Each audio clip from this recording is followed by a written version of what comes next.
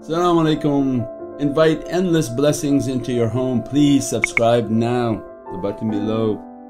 Rahim, reminder always for myself that uh, when teaching these realities, the many people may not have a patience to understand them and natural instinct is to come against. And what Allah gave of uh, adab in Holy Qur'an when Sayyidina Khidr was dealing with Nabi Musa and the height and station of Nabi Musa means to whatever darajat someone is, Allah's servants are many. And above everyone's darajat there may be someone who knows more and they may not have any official title. So what Allah was showing in Holy Qur'an Surat Al-Kahf is that this person whom you may see as no one may have a knowledge for Sayyidina Musa and this is a Naqshbandi shaykh Sayyidina Khidr is in, in our shajara in the, in the silsila of Naqshbandiya at the 11th shaykh. So means that inheritance still runs in the tariqah. The tariqah must have always 7,007 of 124,000 awliya on earth, 7,007 are Naqshbandi and they're under the tarbiyah of Mawlana Shah Naqshband siru and that each one is dressed with 12,000 different realities. And in dunya maybe one of those realities may show from those ulum and knowledges. So Naqshbandiya has a tremendous wealth. Those knowledges are meant not to attract people because who listens, listens, don't listen, don't listen but meant as a food for the soul. A haqqaiq is like giving food for the body that when these the truth will set you free. When a knowledge comes out it hits when it's a truth and when it's filled from, li- from lights it hits the soul and dispels and annihilates every falsehood because Allah says, that falsehood is ever perishing. So imagine people are filled with falsehoods for visualization. A truth like a light comes like a cannon, boom, hit the chest and it shatters the falsehood and begin now to penetrate into the heart. And that's the reality that Allah we're talking earlier today on just one they saw a video which says that the guides they guide from the soul and they say, oh this ajib we never heard things like this, what you're talking about you guide from the soul. And where is it in Qur'an and Hadith? And all their teachings are Qur'an and Hadith of Prophet but you're not reading the Qur'an the same way. So when Allah says that guidance is only from Allah what we say for the Jamashayh? Alhamdulillah, alhamdulillah, alhamdulillah. Alhamdulillah alladhi hadana lihada ma kulla linahtadi lawla an hadana Allah. That alhamdulillah that we came to this immense blessings and that guidance is only from Allah and there is no guidance except from Allah and all throughout Qur'an when Allah is describing guidance, guidance, guidance, says Qur'an what is Allah guide, guiding?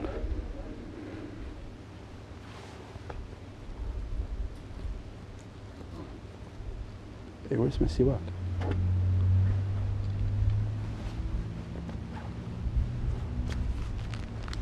InshaAllah. What is Allah, Allah guide? Thank you. Here's my siwak. When Allah said, we don't look to dunya for the weight of a mosquito wing.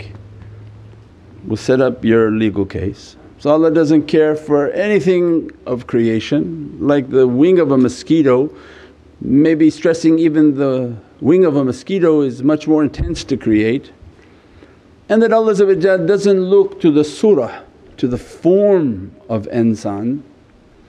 So hadith of Nabi also always describes how Allah doesn't look to the face, doesn't look to your form. That Allah's caring is for that which is eternal and Allah doesn't care for that which perishes. The rotten tomato is not where you put your focus. That which is eternal is the light, that which is eternal is the soul. So Allah's guidance is to the soul. When Allah says, there is no guidance except through Allah He's saying, because this is my domain. You can call all the donkeys you want because the physicality is like a donkey. Some trained, more are stubborn. You can call all the donkeys you want, line them up, sit, yell at them everything you think you know about Islam or whatever, they're not going to listen and the guidance isn't in your hands. Because Allah's teaching was, it's not who you guide but whom we guide. And this was always taught by Allah to all the Prophets, it's the sunnah of the Prophets. It's not who you want that comes into this religion but whom Allah wants. Why? Because stressing and teaching guidance is from the soul. Malakut is kulli shay, all power is in malakut and the light. If Allah doesn't give isharat to the light of that person that a command from Allah has to come. Your soul will be guided and was written on the day of promises, your exact darajat was written. You can go no higher but you can be pushed and try to go lower but Allah will clean you, cleanse you, give you hardship until you reach it through hardship. You can go beatifically to your station by doing your ibadah and your work or the reality of hardship is you get beaten by this world in such an intense way you will achieve that maqam. But either way you achieve the maqam. But it's not the physicality where you drag somebody along, you, you force them to sit in your association, you give them $5 and then now you say, I'm guiding people. Allah has to give guidance to the soul. Isharat comes to the soul the soul gets an energy and Allah's power resides within the heart. Means that isharat comes onto the soul and the signal begins to enter into the heart of that servant. As a result that servant is now coming towards where Allah wants them to come. That's called magnetism. We described in other talks Allah has to send a signal into the heart and that signal will be magnetically inclined to whatever Allah wants it to be. When Allah make that heart to be guided it's inclined towards Sayyidina Muhammad and as a result it finds itself coming towards Islam. So of course guidance is through the soul. It's not the rounding up of bodies and then talking to them in a way that you're going to appease their bodies. But Allah taught them early in their life, this is from the world of light. When these shaykhs who've been trained through tarbiyah, through energies, through realities, they didn't just make salah but Allah taught them the reality of their salah with their soul, with their energy, with all of this fires that dressing them. That when they operate from their soul every word under their permission is a faiz and a light that's coming. Why do we want the faiz of shaykhs under their nazar? That's why we want the faiz of Sayyidina Muhammad above all. We don't ask Prophet to listen to us but unzur halana is that put your blessed nazar upon me that the light come from your soul onto my soul and bring this love and ishq like a magnet and draw me to your presence. And tazkirat al awliya Sayyidina Abu Yazid al-Bistami was astonished in his love for Allah I loved you, I loved you, I loved you until a day in which he reached. And I found that your love is more ancient than mine. And I've been called here. Didn't give the credit to himself that he achieved something and that he approached and that he prayed and that he worshipped. You don't give credit to the donkey and the body. That's why when they speak from malakut, it's not in arrogance they're talking about things so big. No, no, actually it's a reality and it's a humble reality. That it, you didn't pray, you didn't pray because you were clever to pray. For if Allah doesn't guide you, you will not make your sujood tomorrow. And that's why when you hear the azan you say, La hawla wa la quwwata illa billahi aliyul azim. Understand? When the azan is going off. I can neither come to prayer nor success without your hawla and your quwwah. So I'm telling my soul, I cannot come to any success. Success for Allah is paradise hawla and quwwah and I can come to no power, have no authority on myself Ya Rabbi unless you free the demons that hold me and call me to my salah. And that's why when the azan is going off we're saying, La hawla wa la quwwata illa billahi I have no action in myself, I claim nothing from myself Ya Rabbi. Grant me the madad, grant me that support, grant me a power and I'm able to come to my salah. So everything is from world of malakut. Those whom are guiding back, not guides of the world, the guiding of the people who bring you back to paradise, back to your paradise realities, then are from that. When they talk, they talk with an energy and authority and that energy enters as a truth to every falsehood shatters its falsehood and like arrows begin to enter into that insan. And they say they listen, they hear and they feel things are opening and darknesses are dispelling. And when we talked today earlier one of the brothers was saying it's very much in computers because after the zikr we'll talk about computers and why you have to make your daily awrad. And the understanding from computers. Do you think the hardware hardware is important or the software? So when we say guidance comes from the soul, in technology Allah gave us technology to know ourselves. When mankind made a computer they were trying to create an insan. They put a head, they put a guts, they put everything. They were trying to replicate what Allah makes. That's why they make technology because they want to make something, they want to have credit for something. Allah allows them, make the computer because if you study it you should find more about yourself. So the hardware that you have although it's nice and it's fancy it really makes no difference unless the software is in it. When Allah sends to the software this phone has guidance and works.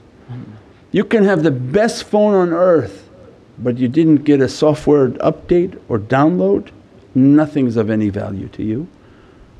Why? Malakut kulli shay. Allah wants us to understand you cannot fast without my permission, you cannot pray without my permission, you cannot be generous without my permission, you can do nothing. And that's why on Jummah we sang, we came to this immense blessing that Allah granted us an immense blessing that we're able to make our sujood inshaAllah, we make our prayers, we make our zikr, we make our fasting, we do all of this worshipness is a gift from Allah because when you do da'wah you understand when somebody decides they're going to turn away from Islam as if Allah has cut that faiz from them. And they don't want to pray and they don't want to do fasting and they don't want to do anything. And you can't shake them to do it, you can't yell at them to do it because Allah reminding the hadan Allah, it's me who determines who's going to pray It's me who determines who even going to mention my name in their home. In Surat An-Nur Allah said, they, they have permission from me to mention my name. When somebody said they don't want to do zikr, wrong, Allah don't want you to mention His name. And you should be very scared and sad for that. Don't put anything onto your own cleverness, that's egoism. But if you talk from a light and you talk from a reality, they say, oh he's being arrogant showing himself, oh, I'm talking I'm the donkey for these people. But Allah's azamat, if you listen to it, it's humbling. It's humbling that we have no power, we have no authority, we have no ability to do anything. If Allah doesn't send the command and that's why zikrullah, that's why the, the, the tafakkur and the contemplation, that's why all these practices is to say, Hamdulillah wa shukran lillah, Hamdulillah wa shukran lillah so that Allah dress us, bless us and give us a good day, another amal, Ya Rabbi don't forsake us, don't leave us, don't be angered by us, don't, don't stop us from our praying, from our zikr, from all our good deeds. And the best of action, the best of action to get Allah's attention is the love on Sayyidina Muhammad because inevitably you will be angering Allah and that's why Mawlana was teaching that told Prophet don't go through the door of judgment with Allah If you say, I'm relying only on Allah you can count probably a thousand times from the time you woke up to night time you've probably done something that Allah is going to be upset with. So if you're only relying on yourself with Allah awliya come and teach, this is very dangerous. So if you want Allah's satisfaction and you want Allah to keep sending hawla and quwwah so that we can do all our beatific amal, Ameen. love Sayyidina Muhammad more than we love ourselves. Because at every moment, Haris alaykum bil mu'mineen wa huwa ra'ufur rahim. His nazar shahidan mubashiran wa nadhiran, he's watching his ummah. Because you love him, because you're focusing on him he's focusing on you. He's seeing you're going to come short and before this goes to Allah I'm going to intercede for this beloved servant of mine. This beloved muhibbeen of Allah servant of Allah but muhibb and love of lover of Sayyidina Muhammad is going to intercede for our actions. And that's the importance. This love that we have keeps the nazar of Prophet upon us continuously interceding where we're going wrong, where we're coming short. Anyone like a family when you have your children whom you love, wherever they come short in their life your entire being is to help them. If they sick and they're missing an organ you would give your organ to make them to be better. You don't think Prophet has this love for us? That you showed this love for that reality and we fall short and He's going to allow that to go into Allah's presence to bring Allah's anger or He's going to intercede. And what do we say on Jummah? That Dahr al-Jahim, Mafkhar Arabi wal Ajami the one whom prevents his nation from the abode of fire. I know these same people, I don't know if they hear these words on Jummah. That when we're making our Jummah, say, Dahr Jahim, the one whom keeps his nation away from the abode of fire. We pray that Allah dress us, bless us, give us more patience and more understanding. InshaAllah when we come back we have the Naqshbandi Khatim and we'll talk about the reality of Wi-Fi and the daily awrad inshaAllah. Ila Shaykh Nabi sallallahu alayhi wa sallam, kiram wa min shaykhina fi tariqat Shbandiyat al-Aliyah wa sayru sadatina. Al-Fatiha. Click the link now to subscribe.